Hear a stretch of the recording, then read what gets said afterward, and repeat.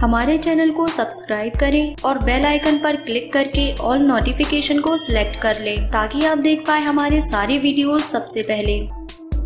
Superstar Rajinikanth की अगली film दरबार का फ़र्स्ट लुक रिलीज़ हो गया है। दरबार में रजनीकांत का धमाकेदार अंदाज नज़र आ रहा है। दरबार को पहले तलाइवा 167 टाइटल दिया गया था। रजनीकांत की दरबार के फ़र्स्ट लुक पोस्टर से ऐसा इशारा मिल रहा है कि डायरेक्टर ए आर मुरुगदास की फ़िल्म पुलिस पर आधारित हो सकती है। लेकिन पोस्टर में यह इशारा मिल रहा है की रजनीकांत इस बार बहुत ही जोरदार धमाका करने जा रहे हैं, क्यूँकी पोस्टर में बंदूकों ऐसी लेकर पुलिस बेल्ट, टोपी और पुलिस डॉग तक नज़र नज़र आ रहे हैं। फिर रजनीकांत का स्टाइल भी कुछ कम कमाल का नहीं है। रजनीकांत की फ़िल्म दरबार के पोस्टर में आकर्षक पंच लाइन है। आप फैसला करो कि आप मुझे अच्छा बुरा चाहते हो या खराब। पोस्टर में आईपीएस की कंधे पर लगने वाली पिन, हथकड़ी, बंदूकें और पुलिस का एक कुत्ता भी है। इसके अलावा पोस्टर में रजनीकांत चश्मा लगाए और दाढ़ी में नज़र आ रहे हैं। पहले लुक में मुंबई का गेटवे ऑफ़ इंडिया दिख रहा है, जिससे लग रहा है कि कहानी किसी पश्चिमी महानगर पर आधारित हो सकती है। इससे पहले मुरुगदास की एक्शन एक्शन फ़िल्म तुपक्की भी मुंबई पर आधारित थी।